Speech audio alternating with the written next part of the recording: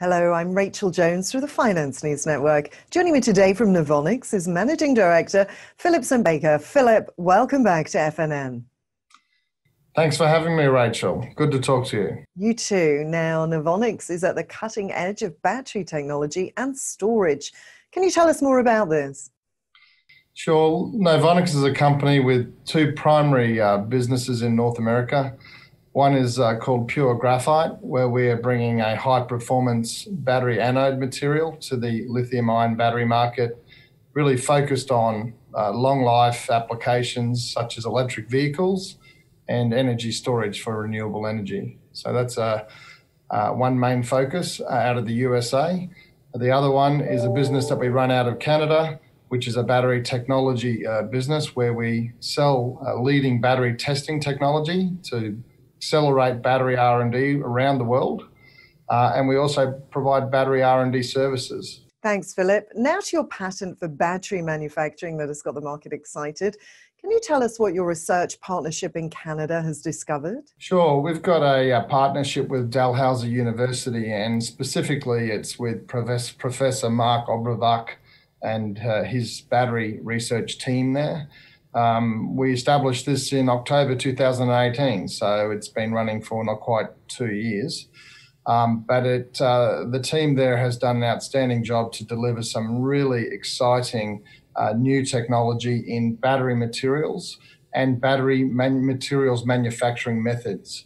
Um, and the, the, most recent announcement that we made was uh, what we call dry particle uh, microgranulation, but cutting it short, it's a technology that they uh, have invented and we've filed patents for that potentially can significantly reduce the cost of battery materials. And uh, and this is important because battery materials represent 70% of the cost of the battery.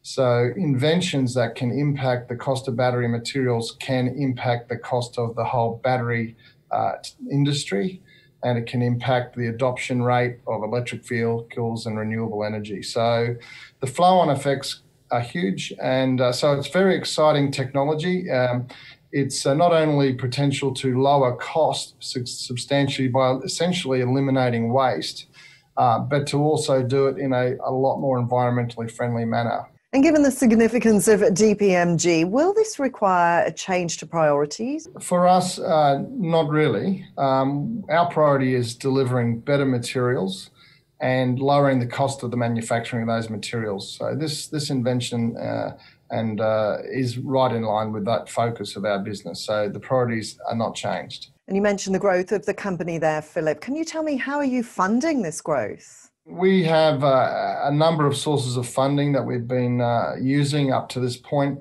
Um, we, we raised $5 million in March, so we've, we've just put a recent injection of cash into the company. Um, and given that was right um, when COVID was announced, uh, we uh, we put that money in the directors, myself, other uh, co-directors, uh, and uh, a fund associated with my family basically funded that money, just so that the company can uh, keep going at full pace without delay. Um, but going forward, we um, we will have requirements to bring more money in to build factories to meet our customer requirements. And uh, we'll, we'll be looking to explore all sources uh, in relation to that funding, but uh, we believe debt funding will play a significant role in that because we plan to have uh, multi year uh, large contracts with global brand names and um, to underwrite our future uh, factories. Into the last question now, Philip. Where would you like to see the company by the end of the year? At the end of this year, I would like to see our company will be delivering um, new product to our first foundational customer, which is Samsung in Korea. Uh, so they've signed up to uh, buy our, our new pure graphite material manufactured in the USA. Um, so that's probably the most exciting part is that we're, we're now producing inventory um, to meet that contract. Um, first deliveries will commence in October. Uh, so that's all very exciting. We also signed an agreement with Sanyo, who's another major global player in this space, um, who have a large uh, factory uh, factories around the world. In fact, but also in North America, um, where we are collaborating with them on a, on a potential supply uh, to them as well. So I, I, would look for news around our Samsung contract, us delivering to Samsung, uh, and also where we're headed and updates on our collaboration with Sanyo um, as a start, anyway. It all sounds very exciting. Philip St. Baker, thanks so much for the update. Thanks very much for having me, Rachel. Have a good day.